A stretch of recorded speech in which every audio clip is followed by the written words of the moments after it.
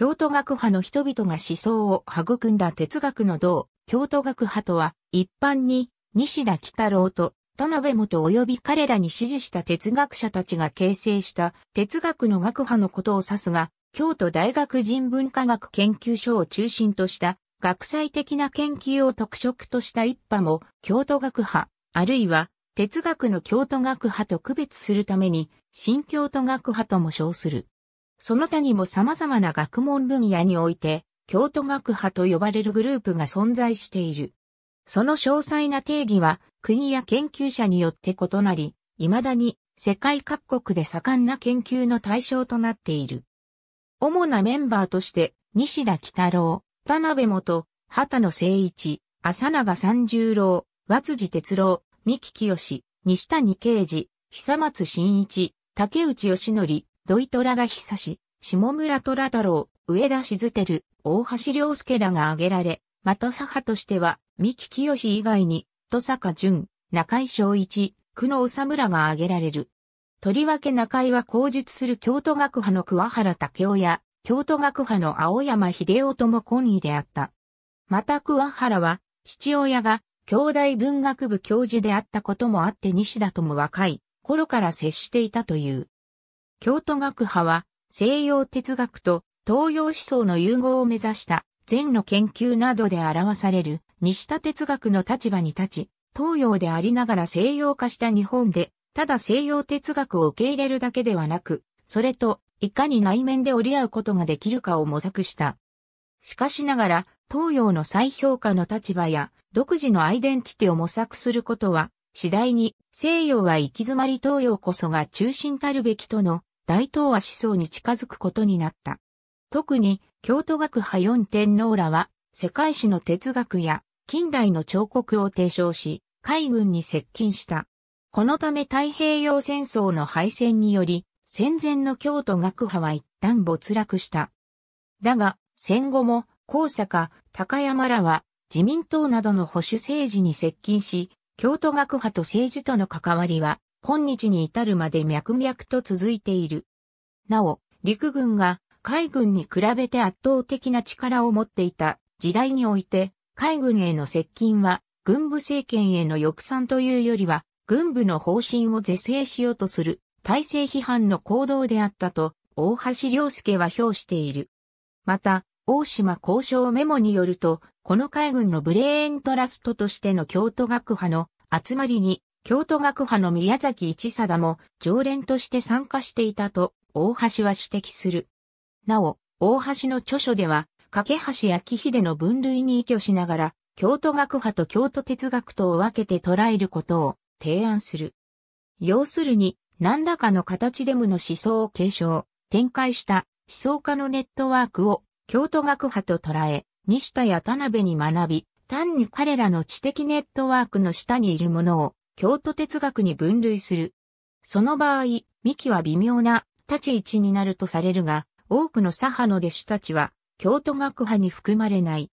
また弟子として、西田の著作の編集や解説を書きつつ、自分自身の研究は歴史的な方向へと向かった下村虎太郎も多分含まれないであろう。また、京都大学とは縁はないので、一般に京都学派に含めないし、大橋も言及していないが、鈴木大説は西田の親友で無の思想を継承、展開するという点でも相互に影響を与え合っているし、京都の大学に勤めてはいるので、大橋の定義に従えば、鈴木も京都学派ということにもなる。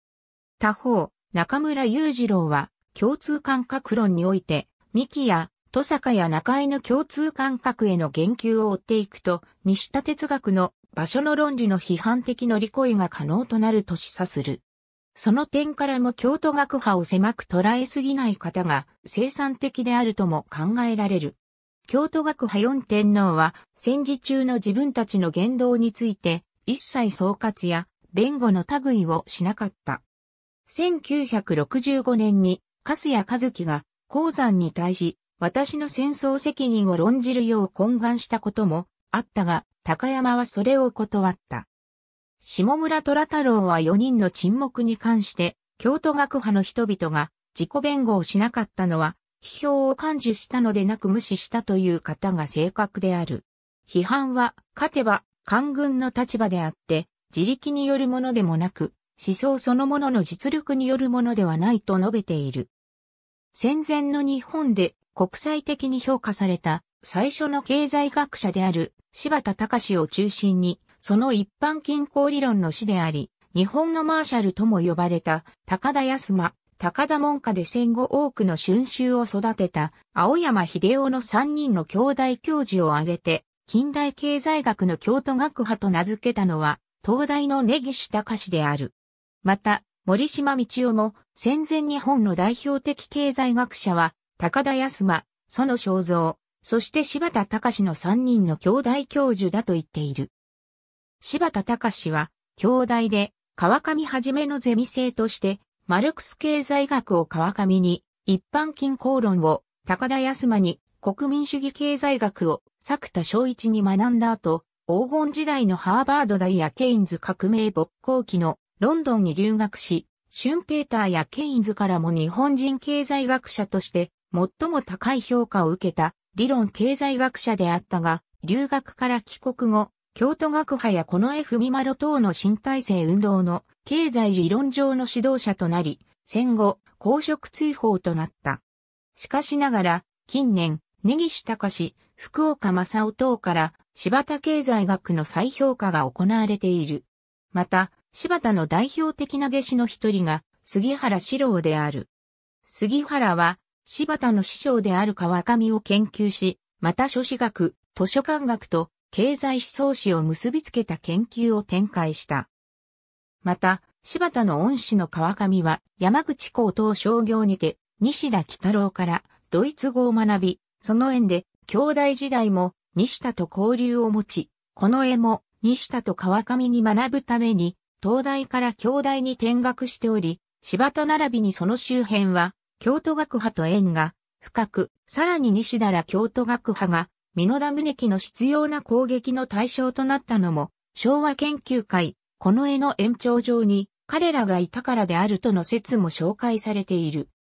また、上記とは別に戦後京都大学人文化学研究所にて頻繁に共同研究会を開き、活発な討論を行っていた一派も京都学派と呼ばれるが、上記の京都学派とは直接の関係はない。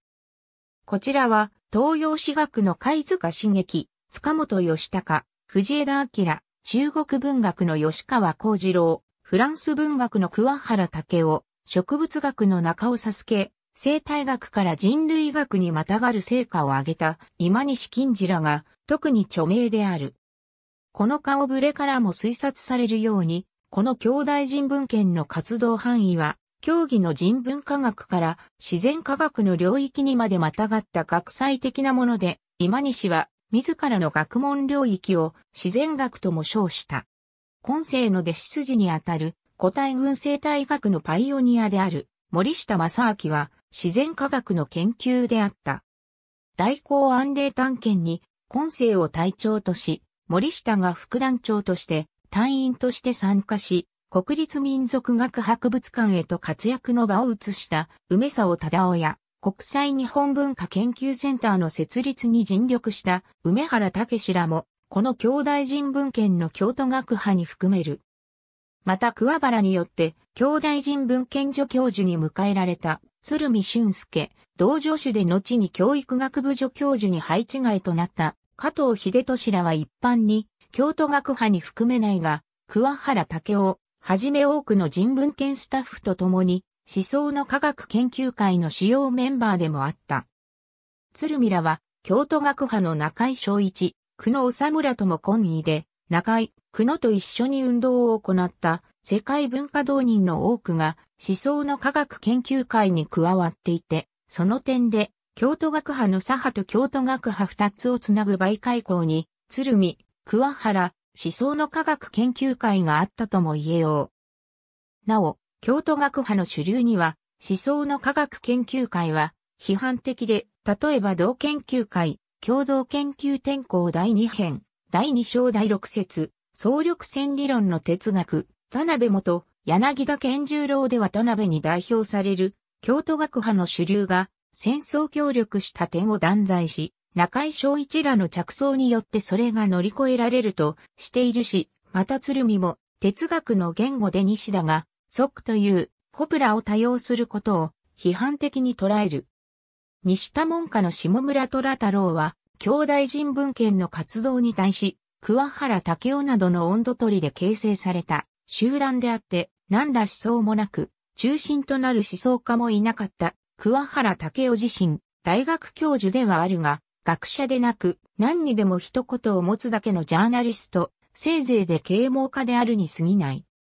2、3年前、文化勲章をもらったが、どのような文化的功労があったのか、自他ともにわからないという辛辣な評価を下している。東洋史学分野における京都学派は、京都帝国大学教授だった内藤コナン、桑原実蔵、羽田徹を創始者とし、他に、加野直樹、矢野仁一等がいる。弟子に、宮崎一貞、田村実作り、三田村大輔、谷川道夫、他多数の東洋学者たちがおり、兄弟人文献の一角を成した島田健二、川勝義夫、吉川忠夫等もいる。その特色は内藤が提唱し、宮崎らが発展させた時代区分の闘争変革論である。新漢時代までを、上古、義新南北朝隋唐時代を、中世、宋以降を、近世、アヘン戦争以降を近代とする四時代区分法を中心に中国史の研究を展開した。大戦後には前田直輔ら唯物史観をもとにした時代区分法を唱える学者たちとの間で激しい史学論争が行われた。佐々木総一、大石義夫、安倍照也、佐藤浩二らを中心とした憲法学の学派。東京大学を中心とする東京学派の政治学的解釈に対する法律学的解釈を施行するなどを特色とする。今村新吉初代教授により、京都大学医学部精神医学教室には、哲学的精神病理学の方向性が示された。その後三代目村上仁教授によって精神病理学の伝統は受け継がれ、後に加藤清、笠原義美、木村聡、藤縄明など時代を代表する精神医学者を多数輩出した。